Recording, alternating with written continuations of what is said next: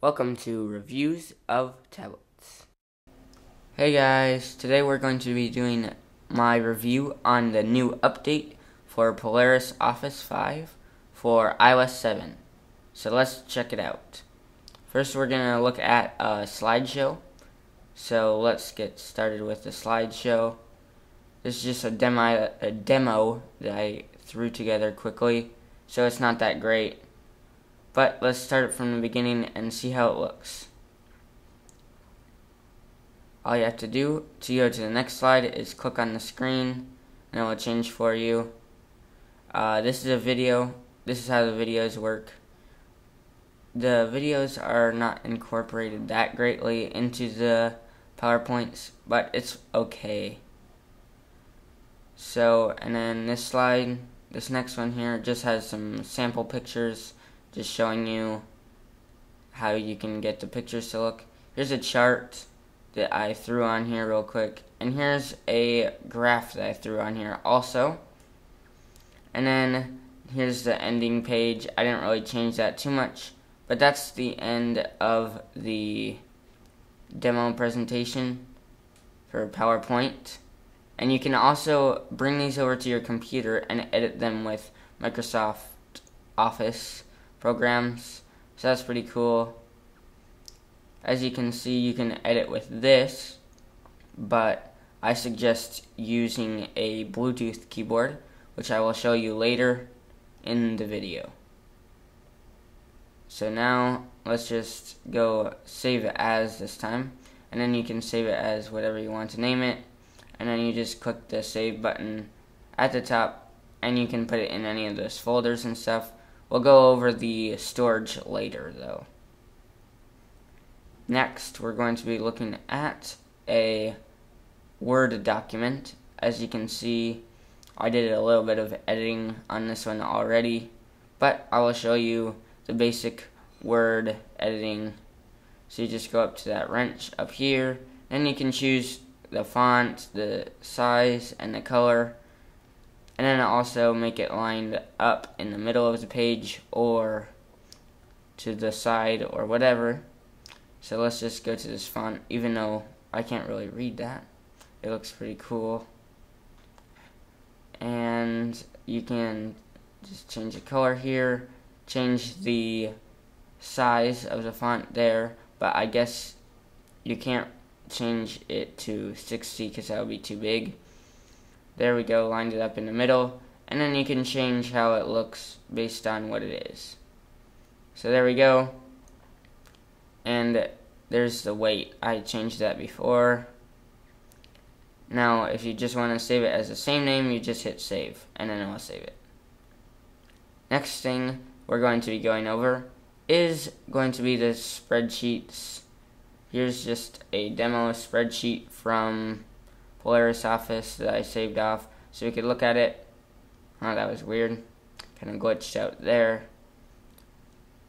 But you can enter data into these tables and you have this special keyboard thing that they have, the Polaris has added, which is really cool because it makes it so you are able to way easier um, editing on these spreadsheets so you can move around with these also. So that's pretty cool. It's a really nice addition to this program. So you will be able to easily edit your documents.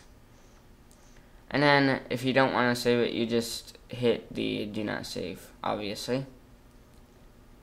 So let's look at adding new documents. You just hit the plus button up there and then you have several several themes to choose from.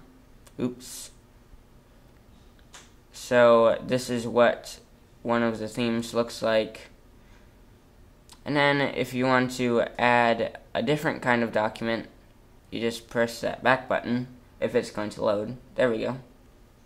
And then you can add another one. We'll add a spreadsheet this time. And let's just do this one see how it looks. And then we'll go on to the next thing. As you can see, looks pretty cool. you can edit all these uh, details obviously but like before you have that keyboard and that's pretty much all you get for spreadsheets so now let's go into a PowerPoint or a slideshow I guess they call it on Polaris Office but yeah it's pretty neat that you can actually edit these on your computer after you're done with them on your iPad. So if you are going somewhere, you can quickly edit a document on your iPad. Anyway, that's going to wrap up this part. Now we're going to go to the Bluetooth keyboard. All you need to do to sync your Bluetooth keyboard is click the connect and then it should connect if it's your first time, you'll have to uh, type in a number on your keyboard, but then you can just go back to editing, and let's just go into a uh, text document. As you can see, all you really need to do is add text on these. There's not too many cool settings, but that's obviously what text things are for. And as you can see, the keyboard is working, and all of the cool little um, things that you can do with a normal keyboard, you can do with this one on Polaris Office. So that's pretty cool. Let's move on now. Alright everyone, the next thing we're going to be going over is the browser option on Polaris Office. This is where you're going to organize all your files on your iPad or iOS device. It doesn't have to be an iPad. So basically you can move them to, let's say I go to this folder, you can move them in here like that. And then you can move them back if you want, or just be done. And then let's see. So all you, what you can do now is click that, and then there's the send. If you click the send, it will come up with the mail thing. But I'm not connected online right now on my iPad, so it won't actually work. But it will load up a preset message for you so you can send it. And it'll be the same with anyone that you look at. Anyway, guys, that's the end of our re review of Polaris Office for iOS 7. If you did enjoy this video, please give it a like and subscribe to my channel, as it will help me out. But if you did not like this video, please leave a comment telling us why you did not like it, so we can improve next time. Thanks for watching, guys.